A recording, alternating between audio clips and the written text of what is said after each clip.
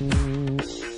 Scarlett Johansson may kick your booty on screen, but in real life, she wants to kick you into your local polling station. We have her DNC speech highlights. Welcome back to Clevver News. Nice to see all of you back here again. Thanks as always for tuning in. Last night's Democratic National Convention was totally star studded, but the celebrities weren't there to promote a movie or talk about their personal lives. They were all there with a very important message. Actress Scarlett Johansson, who we all know and love from the Avengers Lost in Translation, and so many other great films, took the stage in North Carolina, urging viewers to do just one simple thing vote.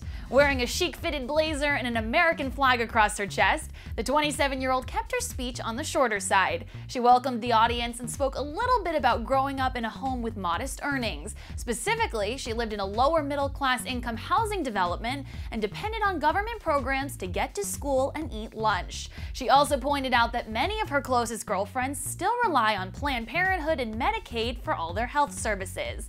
What seemed to peeve Scarlett the most is the fact that less than half of all eligible voters between the ages of 18 and 24 voted in the 2008 election. She asked, quote, Young America, why are we only speaking with half our voice when so many issues at stake here directly affect us?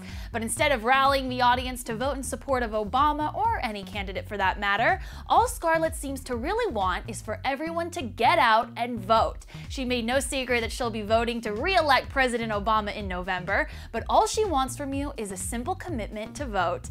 So did you guys think it was cool that Scarlett took the whole go vote approach as opposed to the vote for Obama approach? Let me know what you thought about her DNC speech and make sure to subscribe to our channel before you go. Clevver News will take you through all the political madness leading up to the big November election day. Have a terrific weekend, guys. I'm your host, Deidre Thanks so much for tuning in, and let's do this again on Monday, okay?